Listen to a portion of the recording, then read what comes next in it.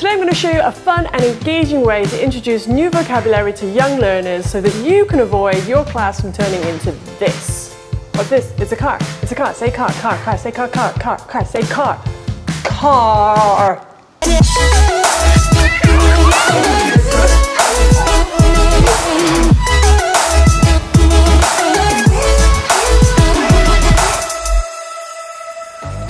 I'm Jema Perry and for the past eight years I've been working in China as a teacher, manager and recruiter.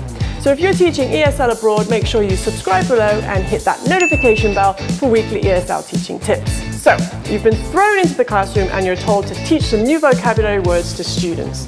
But you're not sure how to do this in a fun way that's going to help them quickly remember and start using the words that you're teaching. Well, by the end of this video, you're going to have one more tool on your teaching tool belt to use in your classroom. So let's get straight into it and talk about today's activity, bounce. Now I like using bounce in my classrooms because not only is it a fun way to introduce new vocabulary, but it also reviews colours. To play this game, all we're going to need are flashcards of the vocabulary we want to teach and three different coloured balls. Position the class in a semicircle with you, the teacher, in the middle. You're going to place the flashcards face down one by one, counting as you do. So one, two, three, four, five. Note how slowly I'm counting. Next, you're going to introduce the coloured balls one by one, asking the question, what colour is it? Students should then reply with the correct answer. For example, what colour is it? It's blue. Now hopefully you've taught students some kind of chant and TPR to help them remember the colours, and you can repeat that here. So instead of just saying it's blue, you might say it's blue, blue, blue, depending on what you've previously taught. Next, you're going to choose one student who is sat particularly nicely and have the whole class as a group ask them, what color do you like? That student's then going to reply with the color of their choosing. For example, I like red. Now out of all these colors, I prefer red. But let me know in the comments below what your favorite color is. Next, you're gonna roll the colored ball to the student who's then gonna pick it up and bring it to the front where they're going to drop it on the flashcard of their choosing. Now, unless you want a pile-up of three-year-olds, it's really important that as soon as that student drops the ball, you then pick it up. ball! Pick up the card and look at it with enthusiasm. A little more than that.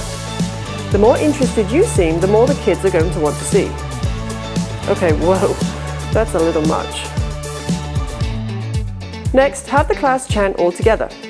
Let me see, please. Let me see, please. After which, you can turn the card around and chant the new word to the class. It's a train, choo-choo. It's a train, choo-choo. It's a train, choo-choo. It's a train, choo-choo. If you're not sure how you should be using TPR and chants to help your students remember the new vocabulary, make sure you check out my video on chants and TPR linked below. Next, you're going to take that flashcard and place it on the floor face up pick another student and then go again. Now make sure you let students know that you are choosing those who are sat attentively and practicing the English with you.